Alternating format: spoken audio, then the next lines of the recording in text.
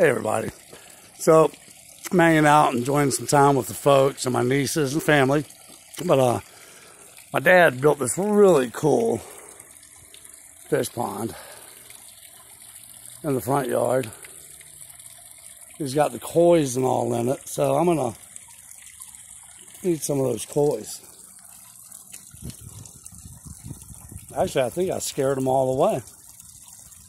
Come on, fishy fishies.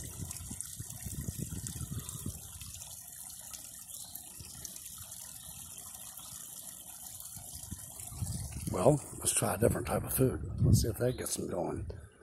Honestly, they were all just like hopping around and jumping around a minute ago, but of course, then you turn on the, uh, hold on a second, ah, video camera and they all take off.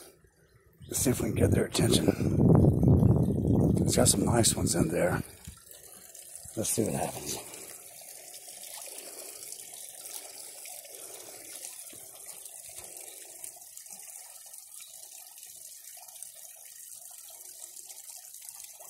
well, that's a that's a bust, huh?